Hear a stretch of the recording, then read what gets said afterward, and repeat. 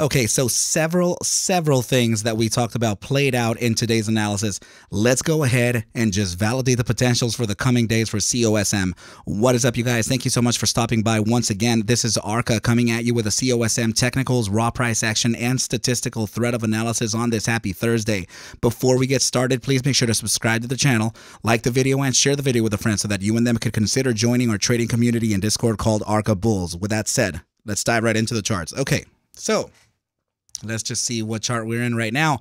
This is the this is the daily chart that we were looking at, right, regarding uh, right angled triangle that we uh, pretty much said that we're going to be facing in uh, a resistance touch, right, in the coming days. And we noticed that that resistance touch was very confluent to a few targets. Okay, so first of all, we noticed that the NOT 382 was about 365. The price action came up to about 375. The other thing that we noticed here was that at about $3.54 or $3.50 was the resistance of the 90% to the apex of the triangle, right? So we also noticed that. So another thing that we noticed was remember, guys, we just have to kind of remember where we were in order for us to determine where we're going, right? Another thing that we touched on was the fact that we were in a process of mean reverting, right? So this is uh, regarding the uh, eight hour critical contraction backtest that we actually ran volatility versus momentum right so we uh, determined we determined that we were at a contractive phase and we're starting to mean revert, right? So now if we were going to look at the mean on the eight hour time frame, then we we brought up our uh, our mean reversion tool, and it told us that uh, three dollars and about fifty four cents was the mean, right? So the mean, of course, changed with the price action today, and it was at three forty nine. So very interesting that we actually closed there in a few platforms. Of course, uh, it says three forty seven here in the algorithm from TradingView, but it is 349 from a lot of places. So we did get that, right? We rejected right off of the mean band, just like we were talking about, and we're closing right at the mean band. Okay, so that's that's already looked at and we're good. Okay, so that was a huge amount of confluence here. That's how we were able to see that. So now I have a few more things to talk to you about because we got we we got a 5-day closure. Okay, a candle closure yesterday. And what's interesting about that is because it fired off another signal. Okay, so now before we get to that though, notice this on this large descending triangle, right? We uh, we have another falling we, we uh, another triangle, but this is a falling wedge. Okay, so the falling wedge is a bullish statement as well. Okay, so now what I want to point out is this. Okay, so if we were to be breaking out out of the 65 percent, which could be tomorrow Let's just say, right? So either tomorrow or the next day. So if it were tomorrow, right? So we take a trend line from the top side of the triangle to the very bottom of the triangle and we apply it to the supposed area of breakout, which is typically 65 to 70% to the apex of the triangle, right? So it takes us to a target of $5.74, right? If I if I take it out like this. There you go. So $5.74 is where it's taking us, right? So already notice, okay? So just notice real fast that the NOT 618 is located at 561, right? Okay, so we already have we already have a geometric confluence here. Okay, so that's that's already good. So now let's go ahead and take a look at what that 573 could be as well. Okay, so let's see if I have it here somewhere for you but we'll go ahead and just pull it up just real fast. And if I can't see it, oh my goodness, if I can't see it, it's okay, you guys. I'll bring it up in another perspective, right? So I think it may have been the five day uh, mean reversion. There we go. so it is the five day mean reversion. Go ahead and notice that 573 is the revi- is the is the reversion, the mean reversion that we're actually facing right now. Okay, so 573 is on the five day. All right, so now let's go ahead and take it just come back to this right so 574 is the price objective from the psychological formation okay so now the reversion variant is telling us that 573 is the mean so now if we go to volatility versus momentum on the 5 day go ahead and notice now we upon the closure of it look we have 5 days and 18 hours the the candle just started today okay so upon that well my apologies upon that closure we got the uh, we got a couple things. Okay, notice the curvature on the fast time frame, the three day exponential. it's already correcting from an oversold percentile. And on volatility, go ahead and notice that we started to contract.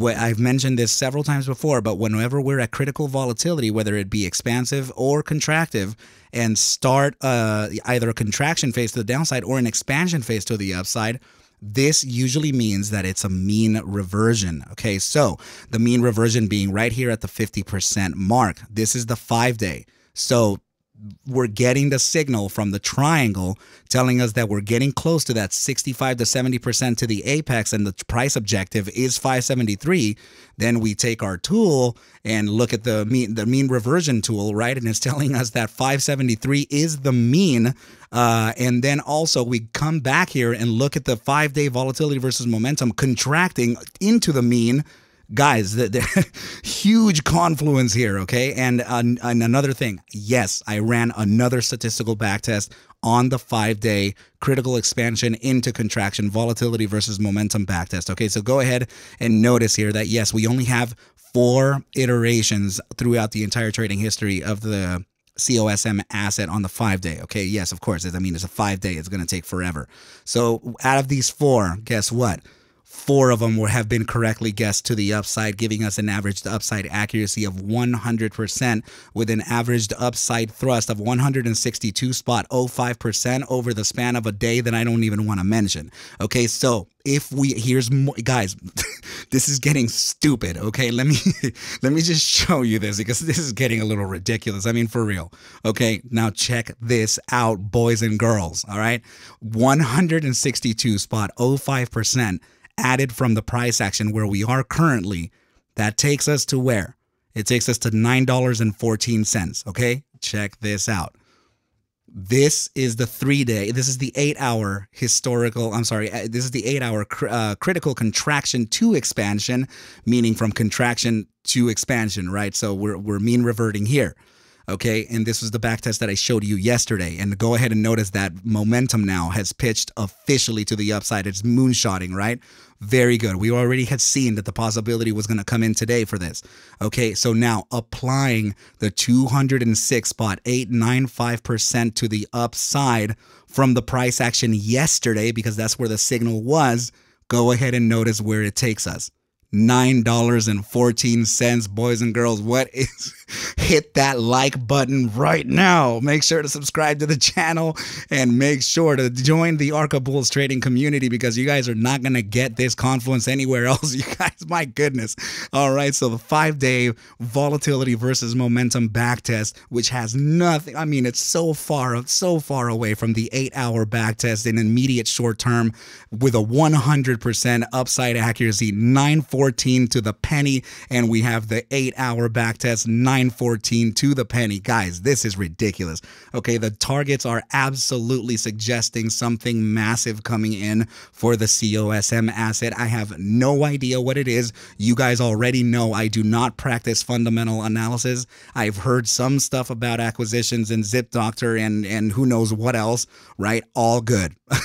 that's that's all good, but I don't worry about those things. I worry about the math okay? I worry about the statistics behind this, okay? Which, by the way, they are statistics, they're not certainties, okay, you guys? So now let's go ahead and continue on the, the, the, the other part of the analysis, which is the last part, okay? The, the divergence chart.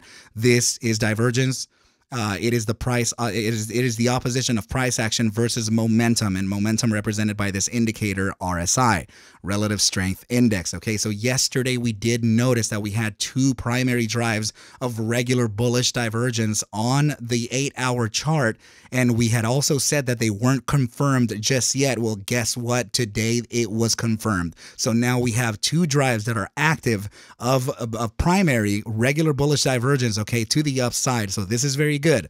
All right, you guys. Yes, we have a little bit of a pivot, a little bit of a pivot right here, but know for a fact that we have the 14-day simple moving average below us as a form of support before continuing on to that upside. Okay, so now let's go ahead. Uh, that's just another validator for an upside, right? So let's go ahead and now look at the rest of the time frame RSI. Okay, because this is incredibly important as it would allow some opportunity for some longs to kind of get there, right? So Uh, the 30 minute immediate short term time frame, yes, it is below the 14 day simple moving average, but notice how both of them are pivoted towards the upside and both of them are within the gravitational zone of the bull weakness percentile. Very bullish. Okay, you guys, we have a little bit of a short term retracement suggestion here on the four hour time frame, too, but know that we have the gravitational zone of the bear weakness percentile located right down here, so that very well could push us to the upside. Say, uh, same thing with the eight hour. Okay, we are in the gravitational zone right now, so very likely to actually reject uh, continue the continuation to the downside. and the reason why I'm telling you that is because of the further I'm sorry because of the uh, following time frames. This is the daily uh, this is the tw- I'm sorry the 12 hour and now look at the daily. This is the daily and now look at the bi daily right? and now look at the freaking five day. The five day is what's most important right now because the five day statistical backtest already fired for a potential upside coming in. And we have now just made a very bullish cross above the 14 day simple moving average and approaching the gravitational zone of the bear strength percentile, okay, which would essentially pivot, uh, you know, push us right into the upside. And, and then this would actually be us succeeding finally that 14 day simple moving average, which we've been below since about, uh, actually, man, about the 2nd of March. Okay, so yes, it is almost a month of being below this thing, and we're finally succeeding it. And it looks like the bi daily time frame is in that process, or if not already started. Okay, we're actually just right at that support level, at that resistance level. Okay, so very likely we can actually succeed these moving averages for the first time in a long time. All right, you guys, so everything is pointed up. What I'm saying here is, is that there is now a shorter time frame potential for a reloading coming in tomorrow. Okay, so if we were able to just push into the 12 hour time frame, we can see what the price action is looking like, right? So, all right, so now, uh, actually, you know what? We can actually go down to a four hour and see what that loading zone could even be, right? So let's pull up some averages and see what we got below us. Okay, so we do have the nine day, I'm sorry, the seven day exponential moving average located. I know it's very dim right now, right? So let me just go ahead and do this for you. Uh, I can't see it. Let's see. Here we go the nine day exponential moving average, like we just said, right? Let's just go ahead and make it a little bit more visible, just like that. And uh, also change the color just a little bit. There we go. So we'll leave it just a little bit brighter. Very, very likely we can actually come back down to that nine day exponential moving average. Even actually, you know what? Maybe even the seven day. So let's go ahead and just uh, add the seven day moving average into that as well and just see what those potentials could be. Okay. So the seven day moving average, of course, it, it would be located right where the nine is, right? So very likely we can come come back to about 327 before a huge bounce to the upside. And I'm talking about a very, very low area here. Okay, so best case scenario is this. I don't think we have the liquidity to even reach that. But I mean, the, the higher likelihood would honestly be at a geez, wow, yeah, yeah. The on honestly, the higher likelihood would be between about 341 and about 313 uh, lots of support within this area right here, right? So the moving averages may very well be adjusted to that target later on in the, or actually in the early pre-market, right? So uh, yeah, essentially this is kind of what I'm looking at right over here. I'm going to draw that, uh, uh, that resistance uh, area. So just like this, uh, yeah, right down into this area. So you can see it in blue right here. 337 to about 340 would be essentially the loading zone, the lowest, lowest possibility And best case scenario 327, which I highly doubt, right? But that would be essentially that area that we can focus on for tomorrow's session before a continuation to the upside. I mean, we're we're looking at we're looking at statistics and cycle and psychology and and technicals and I guess fundamentals too, because people are talking about those acquisitions and whatever else, right?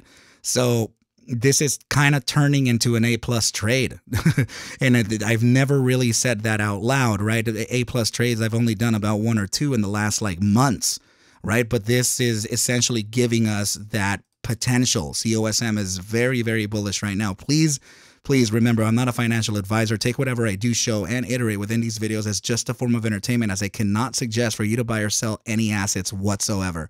I need you to do your own due diligence and everything will be just fine. Okay, you guys? Please remember to refer to the links in the description below where you'll find the ARC Masters trading course email if you would like to reserve your seat. There are still seats available for the second track coming in uh, in April, right? So also you'll find the Discord uh, trading community link there and Twitter. All right, you guys. But with that said, I wish you well, a very good night, and I will catch you at the bell mañana. One more thing, guys. Remember, I'm not. I'm. I'm gonna keep it transparent here. I'm actually not long COSM. I'm trading GTII. So just just in case any of you are curious, I do not have any active position in COSM. This is all for you. All right, you guys. Well, thank you so much, and uh, like I said, I'll catch you at the bell mañana. Adios.